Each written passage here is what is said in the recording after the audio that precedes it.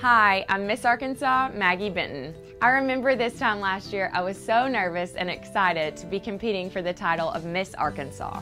These contestants work so hard. They work hard to earn educational scholarships. These scholarships are made possible by sponsors like Dr. Rhys Branman and the Cosmetic Surgery Center. To the state of Arkansas, it has been my honor to serve you. It's really been a remarkable year.